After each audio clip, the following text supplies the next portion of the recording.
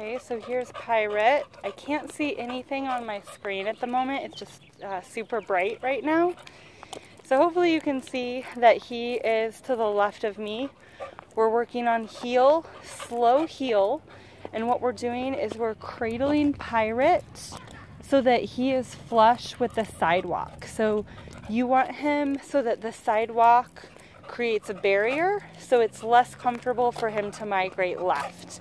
He has a tendency, like I mentioned on the phone, to to feel the leash and turn left, but this kind of creates a, a barrier.